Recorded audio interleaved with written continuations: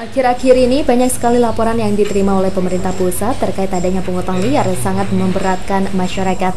Merespon kondisi tersebut, Presiden mengeluarkan kebijakan PP nomor 87 tahun 2016 tentang Satuan Tugas Sabu Bersih Pungutan Liar atau Satgas Saber Pungli. Dari kondisi tersebut dapat dilihat bahwa sesungguhnya keberadaan Satgas Saber Pungli ini dalam rangka memberikan pelayanan terbaik kepada masyarakat. Beberapa hal yang disampaikan oleh Bupati Pamekasan kepada segenap anggota unit pemberantasan pungutan liar Kabupaten Pamekasan adalah yang pertama, bahwa sebagai organisasi baru, Satgas harus memiliki standar kinerja dan kode etik dalam melaksanakan tugas. Kedua, Satgas perlu melakukan kajian yang mendalam apakah pungli yang terjadi merupakan sebab atau akibat, merupakan hulu atau hilir suatu alur peristiwa, sehingga selain memantau diri, Satgas juga dapat memberikan masukan kepada pemerintah kabupaten terkait masalah yang hulunya agar mendapatkan solusi yang menyeluruh.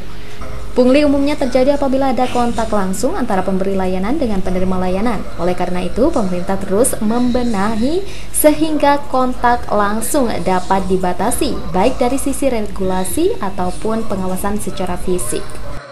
Berjalan sesuai dengan harapan pemerintah, kita semua dalam rangka mengurangi pungli-pungli yang ada layanan yang kita berikan kepada masyarakat bisa maksimal. Bagaimanapun pemerintah membuat aturan ini kan dalam rangka memberikan pelayanan yang lebih baik kepada masyarakat yang tidak didasari bahwa sementara ini masih banyak laporan-laporan terkait dengan uh, uh, terutama dalam hal uh, fungsi pelayanan. Apakah ini hanya fokus pelayanan yang oleh ada pelayanan yang itu berprovinsi? Semuanya, semuanya. Yang berkedudukan di Pamekasan. Yang berkedudukan di Pamekasan semuanya.